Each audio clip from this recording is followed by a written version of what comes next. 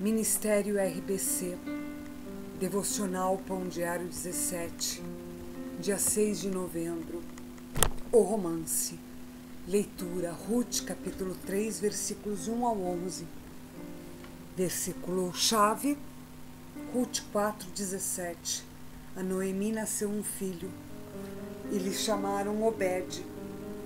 Este é o pai de Jessé, pai de Davi. Nos tempos bíblicos, as viúvas frequentemente enfrentavam uma vida de pobreza.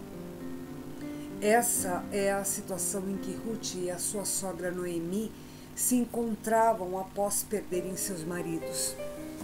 Mas Deus tinha um plano para proporcionar-lhes segurança ao envolver Ruth como parte integral de um plano muito maior.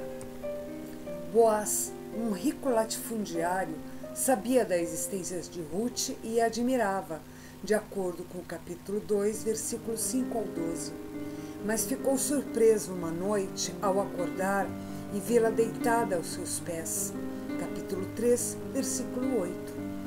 Ela lhe pediu para estender a sua capa sobre si, capítulo 9, para indicar que, como um parente próximo, ele estava disposto a ser seu resgatador. Mais do que um pedido de proteção, Ruth o pedia em casamento e Boaz concordou em casar-se com ela, de acordo com os versículos 11 ao 13 e também no capítulo 4, versículo 13. Não é exatamente uma típica história romântica. Não obstante, a decisão de Ruth de seguir as instruções de Noemi, dada nos capítulos, no capítulo 3, versículos 3 ao 6, estabeleceu uma série de acontecimentos que a colocaram no plano de redenção de Deus. Do casamento de Ruth com Boaz nasceu um filho, Obed, que veio a ser o avô do rei Davi. Capítulo 4, versículo 17.